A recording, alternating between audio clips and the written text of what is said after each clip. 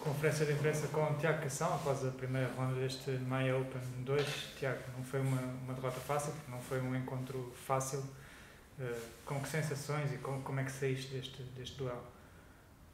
Uh, saio com consciência tranquila, dei, dei tudo o que tive, joguei com o que, com o que tinha no momento, consegui dar a volta ao jogo diversas vezes.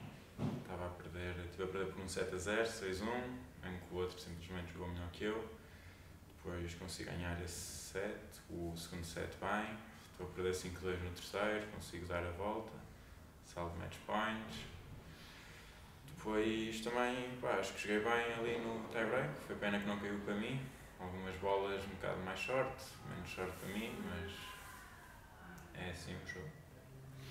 Há uma, uma pergunta se calhar muito, muito correta, mas, mas teria sido mais fácil sair do campo ao primeiro match point, isto é, antes de teres tido também, antes de teres tido um match point, quero dizer? Assim, quatro? Sim. Teria sido mais. teria sido mais fácil? Sim, menos frustrante, vá lá.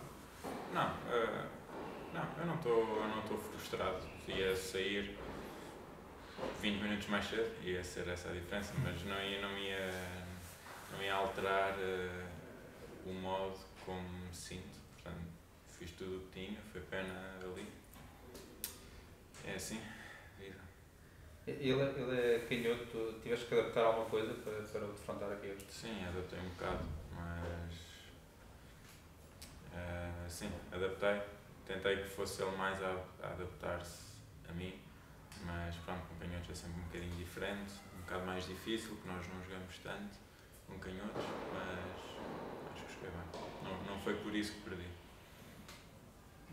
Naquele match point até acaba por ser uh, o match point que tu tens. Uh, não sei se já, já olhas para ele, já pensaste nele, mas até acaba por ser um bom serviço dele, não é? Portanto, uh, foi, foi um, foi um tie-break até, onde até jogaste bem, não sei se sentiste, não sentiste o mesmo. Sim, não, eu joguei bem, foi, foi pena ali o serviço. Foi um bom serviço, foi ali para o meio, não foi assim com grande intenção nem nada, só que a bola bateu na linha e desceu logo não, não, tive, não tive reflexos para, para conseguir metê-la dentro. Tu, no, no final da semana passada, já olhando um pouco para o que foi este 2021, falaste da, da questão do teu nível, da forma como conseguiste jogar, sobretudo nestes torneios mais importantes. Presumo que a exibição de hoje, também porque já disseste, te faça prolongar esse discurso, porque ficaste satisfeito com, com a atitude e Sim. desempenho, não tanto depois a questão da regularidade nos mais baixos. Sim, estou contente, saio daqui contente, vou de férias de cabeça tranquila, portanto fiz o que pude estas semanas, estas últimas semanas do ano. E, e já tens noção agora, vais, vais de férias como disseste, quanto tempo, quando é que começas a, a treinar outra vez, já, já tens noção do que vais fazer nos próximos dias? Uh, vamos começar depois do Natal, Ainda não sei ao certo o dia, mas é na semana de 27. Começamos aí a treinar e sim, começamos já a preparar a, a, a próxima época, ainda este ano. Falaste-nos aqui no outro dia da, da tal boa temporada que achas que fizeste com, com menos consistência. Uh, de facto, tu, tu realmente perdeste uma primeira ronda de um Challenger, foste ganhando sempre uhum.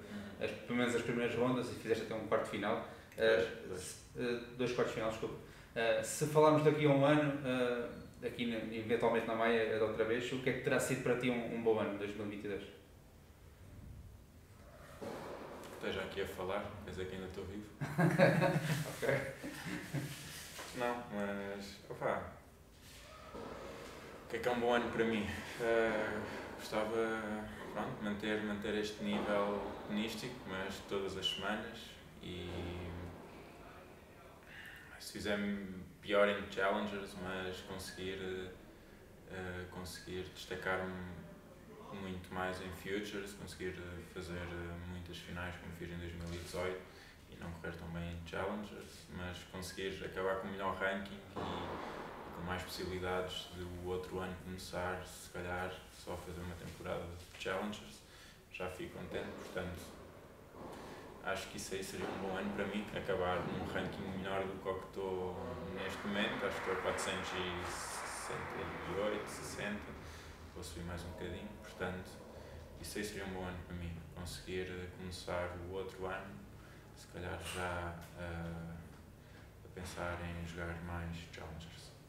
Se, se as minhas contas estiverem certas, este ano jogaste 21 encontros em, em torneios de Challenger, portanto um número bem diferente daquele que tinhas até ao começo do ano. Uhum. Uh, que importância é que achas que esta bagagem pode ter, lá está, na, na abordagem esse 2022? O que é que levas, sobretudo, destes, destes 21 encontros a este nível? Pá, acho que tem, tem bastante importância, não é? Porque quantos challenges é que houve em Portugal?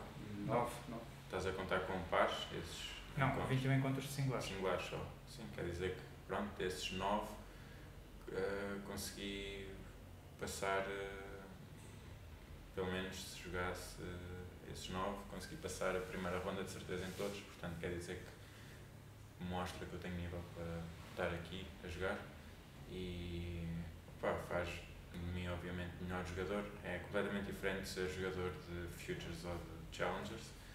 Eh, o ranking até pode, um jogador de Futures até pode conseguir acabar com o melhor ranking que um jogador de Challengers, só que os pontos nos Challengers são completamente diferentes. Eu ganhar, ganhar aqui pontos é diferente de ganhar pontos em Future.